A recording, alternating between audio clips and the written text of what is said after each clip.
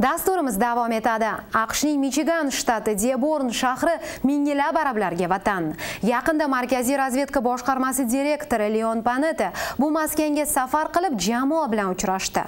Bu agentlik, ya'ni Amerika tashqi maxfiy xizmati arab va boshqa sharq tillarida so'zlashuvchi mutaxassislarga muhtoj. Tafsilotlar bilan Odil Ro'zaliyev. Razvedka xizmati kelasi 5 yil ichida arab va boshqa tillarda so'zlashuvchi mutaxassislar tayyorlamoqchi tahlilchi va agentlarning yarmiga xorijiy tillarni o'rganish talabi qo'yilmoqda afg'onistonda keng qo'llaniladigan doriy va pashto tillari shular jumlasidan.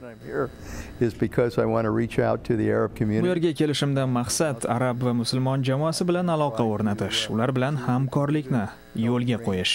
Uh,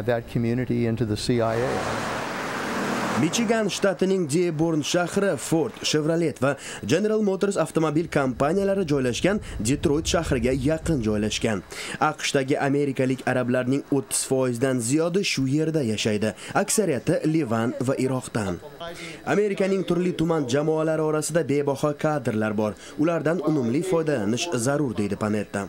We have to reflect Tashkilotimiz mamlakatimizdagi barcha millat vakillariga ochiq. Amerikalik arablar orasidan boshqarmaga mutaxassis yollash o'tmishda oson bo'lmagan. 11 sentyabr voqealaridan so'ng huquq tartibot organlari va immigratsiya xizmati tomonidan ularga shubha bilan qarash hollari kuzatilgan. Well in theory it's a good thing yeah. Nazariy jihatdan bu yomon fikr emas albatta. Ammo bu ishda eng muhimi ishonch. Amerikaliklarning arablarga emas arablarning tizimga boshqarmaga ishonchi. Jamoa vakillariga ko'ra amerikalik arablar aqshning iroqdagi urushi. Terrorizmda gumon qilingan mahbuslarning qiynoqlarga solinishi kabi siyosatidan norozi. Osama sablani debornda joylashgan amerikalik arablar siyosiy harakati tashkiloti rahbari. And when the cia is implementing such policies markaziy razvedka boshqarmasining bu kabi siyosat ijrosi bilan shug'ullanishi jamoamiz vakillariga to'g'ri kelmaydi.